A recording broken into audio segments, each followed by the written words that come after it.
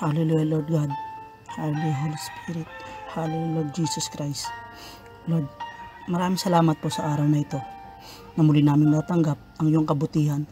Salamat po, Ama, sa pagkakatang ito upang may panalangin namin ang aming mahal na bansang, ang, ang bansang Pilipinas. Sabi mo sa iyong salita, ang bayan o bansa na nagtataglay na iyong karangalan ay magpakumbaba, manalangin, hanapin ka at tatalikdan ang gawang masama ay papakinggan mo mula sa iyong kaharian na nasa langit. Lord, naniniklod po kami nanalangin, nagpapakumbaba at lumalapit sa iyo upang ipanalangin ang aming bansa. Father God, itinataas po namin ang bansang Pilipinas at ang lahat ng Pilipino. Lord, hinihingi po namin ang iyong pagpagaling na kamay para sa mga taong may COVID na nakaratay sa mga ospital. Kahabagan at kaawaan mo po sila, Lord. Hinihingi po rin namin ang kapangyarihan ng banal na dugo ni Jesus na magbigay proteksyon sa aming pamilya, kaibigan, kapitbahay, kapatiran at mga pastor po namin. Lord, hinihingi po din po namin ang pangalan ni Jesus ang proteksyon laban sa COVID ng mga sipag na frontliners na patuloy na ginagampanan ang kanilang tungkulin. Proteksyonan din po ninyo ng inyong banal na dugo ang pamilya ng mga pasyente na may COVID, pamilya ng mga frontliners, Lord. Panginoon, itinataas din po namin ang buhay ng aming presidente, Rodrigo Duterte, O ang lahat at lahat ng mga nanunungkulan sa bansang Pilipinas. Proteksyonan niyo po sila, patnubayan ang, ang, ang kanilang mga gagawin, gagawing aksyon, bigyan niyo po sila ng wisdom, buksan niyo po ang Panginoon ang kanilang mga tenga, pangunawa, upang ang kanilang magiging vision ay nakarelay lamang sa inyo. I-bless niyo po ang kanilang buhay at ang kanilang pamilya. Lord, inadalangin din po namin, Panginoon, ang lahat ng tao na nakaranas ng tao dahil sa banta ng COVID. Bigyan niyo po sila, Panginoon, ng kapanatagan, kapepahan at proteksyon. Tinatas din po namin, Panginoon, sa inyo ang napektuang negosyo at trabaho ng karamihang Pilipino. Tulungan niyo po sila, Ama, na sa pansamantalang pagkasarado ng mga negosyong ito, ay binuksan niyo naman ang durangawan ng langit upang pagpalain ang bansang Pilipinas. Lord, I declare and decree in Jesus' name na malapit na matapos ang pandemic na ito. Sa pagkatapos ng home quarantine, naranasan namin, manunumbalik muli ang sigla ng ekonomiya ng aming bansa. In Jesus' name.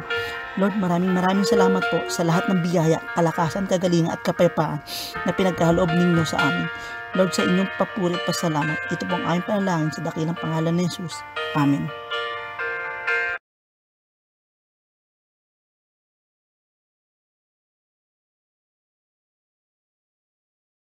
Good morning sa inyong dyan, mga taga-JG. ah.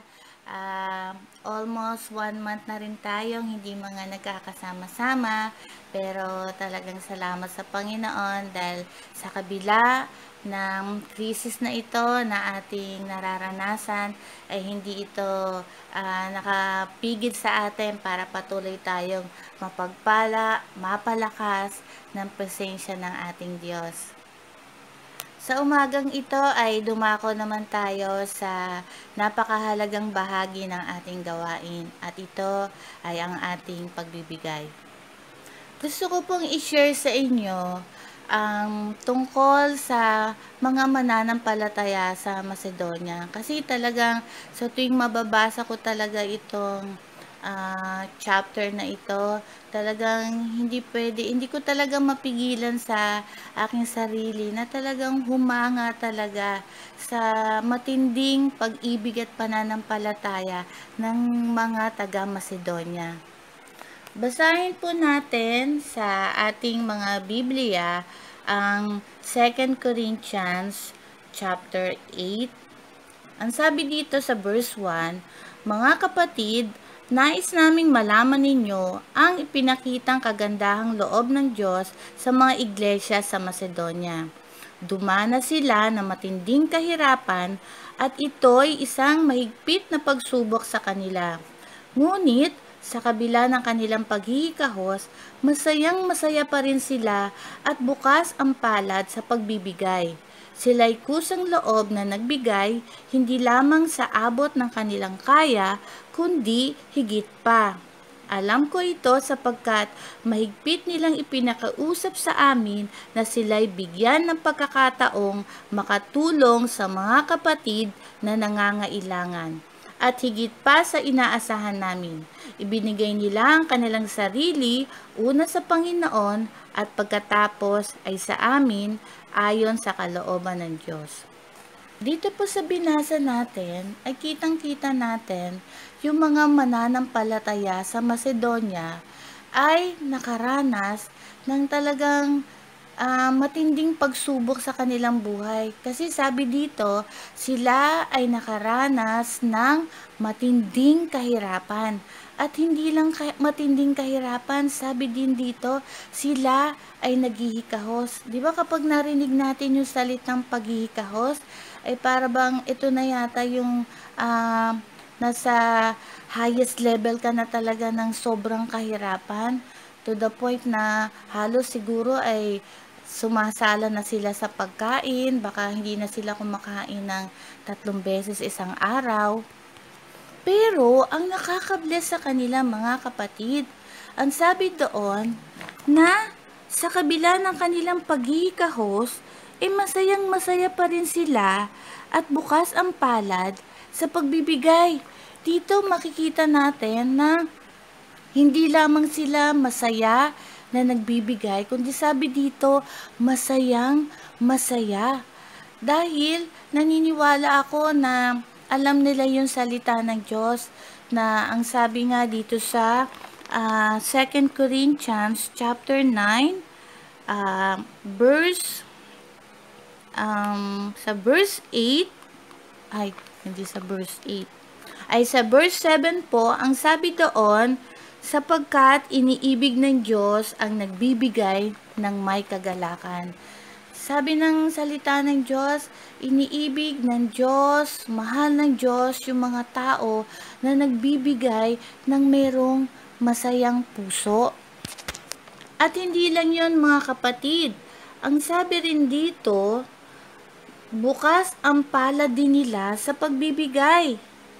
Ibig sabihin, hindi naging hadlang yung kanilang matinding kahirapan at paghihikahos para sa kanilang ah, pagkakataon na maipadama yung kanilang pagmamahal sa mga kapatid na nangangailangan. Sila ay nagbibigay ng kusang loob, bukas ang kanilang palad, at hindi sila napipilitan lamang.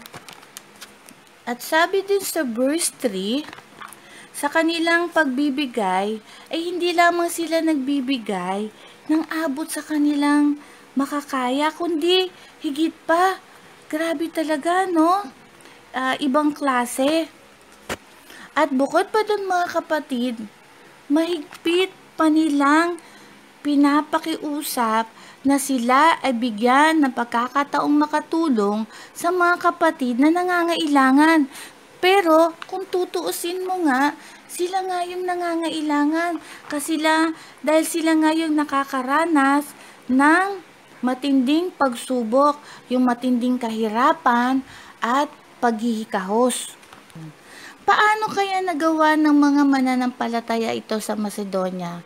Kasi nga, unang-una nabasa natin sa verse 1, sabi doon, ipinakita ng Diyos ang kanyang kagandahang loob sa mga iglesia sa Macedonia. Ayun, ito pala ang unang dahilan. Ipinakita ng Diyos ang kanyang kagandahang loob sa mga mananan, mananampalataya sa Macedonia sa kabila ng matinding pagsubok na kanilang nararanasan. At ano po ba ang sikreto ng mga mananampalataya sa Macedonia kung kaya nagawa nila yung matinding bagay na ito? Mga kapatid, ito po ang sikreto nila. Sabi po sa verse 5, ibinigay nila ang kanilang sarili una sa Panginoon at pagkatapos ay sa amin ayon sa kalooban ng Diyos. Ayon pala mga kapatid, nagawa ng mga mananampalataya sa Macedonia yung talagang kakaibang ah, pagtulong, pagbibigay nila, pagmamahal sa mga kapatiri- kapatiran ng mga nangangailangan dahil unang-una ibinigay nila ang kanilang sarili sa Panginoon. Minahal nila talaga ang Diyos ng totohanan kung kaya't nagawa rin nilang mahalin ang kanilang mga kapatid. Sabi nga sa 1 John chapter 4 verse 21, Ang sabi ng salta ng Diyos, ito ang utos na ibinigay sa atin ni Kristo. Ang umiibig sa Diyos ay dapat ding umibig sa kanyang mga kapatid. Ayun po pala mga kapatid, kaya pala nagawa ng mga mananampalataya sa Macedonia na umibig sa mga kapatid, lalong-lalo na po yung mga nangangailangan dahil sila ay umiibig sa ating Diyos. Kaya nga mga kapatid, naniniwala ako na kahit na marami sa atin ngayon nakakaranas ng konting hirap dahil uh, marami sa ating kapatiran na nawala ng pagkakakitaan, walang mga hanap buhay, kaya medyo nakakaranas tayo ng konting kahirapan sa buhay. Pero panalangin ko na sa kabila ng krisis na ito na ating nararanasan, hindi ito maging hadlang para patuloy tayong matagpuan ng ating Diyos na masaya at tapat pa rin uh, nagbibigay ng ating mga ikapu at handog sa Panginoon dahil totoo tayo nagmamahal sa ating Diyos. At dalangin ko rin na sa pagkakataong ito na tayo ay nasa gitna ng krisis, ay maging magandang pagkakataon din to para maipadama natin ang ating pag, uh, pagmamahal sa ating mga kapatid sa pamamagitan din ng pagtulong natin sa mga nangangailangan. Nawa maging challenge din ito para sa ating lahat na kagaya ng mga mananampalataya sa Macedonia.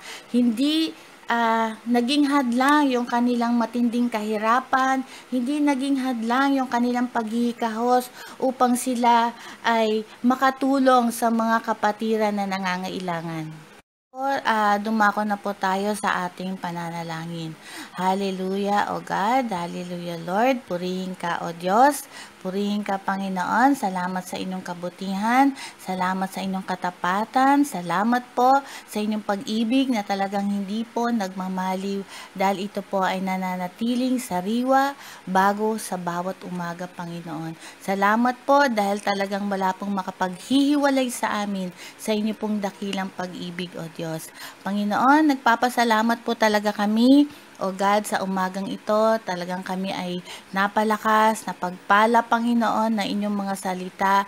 At talagang na-challenge po talaga kami, Panginoon, sa ipinakitang pag-ibig, Panginoon, at pagbibigay niyo po talaga ng generous heart sa mga mananampalataya sa Macedonia na sa kabila, Panginoon, ng matinding pagsubok na kanilang naranasan, Panginoon, yung matinding kahirapan at paghihikahos, hindi po ito naging hadlang para sila ay maging pagpapala, Panginoon, sa kanilang mga kapatid, lalong-lalo na po yung mga nangangailangan.